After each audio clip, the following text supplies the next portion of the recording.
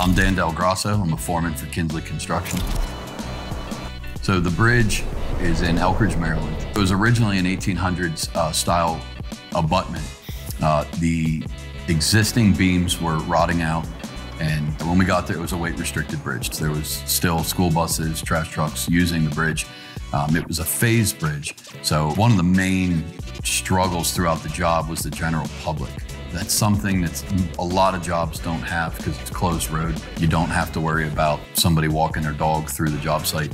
Because it was an open road um, through the phase, people used the Patapsco State Park constantly. So every day it was bicyclists, people running, it was uh, people walking dogs.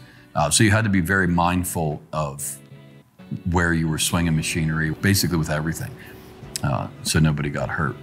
Even when we were off on the weekends, making sure that Friday before we left, making sure that there, nobody was going to trip and fall over something because there was going to be people in the job site regardless of what you did. Once the demolition was done, we brought the drillers in. We were hitting rock higher than what was to be expected on the design. So we were behind with the drilling, but we with working with the engineers and everything, we came up with a solution, got through it, um, and then formed up, poured the abutments, uh, and then after a seven-day cure, uh, we set up to have the beam set. Once that's all done, uh, you put your overhang box on, uh, get your curb forms up, uh, deck steel, back walls, uh, and then pour the deck. I think the completion date was in December. Um, we were done the end of October. My crew did a great job sticking with, starting early, working late.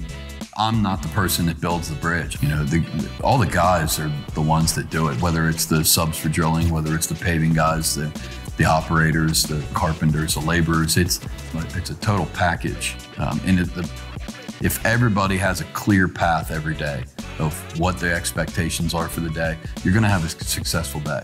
That's, that's pretty much it. Everybody shows up, put a hard day's worth of work in, you're going to get done.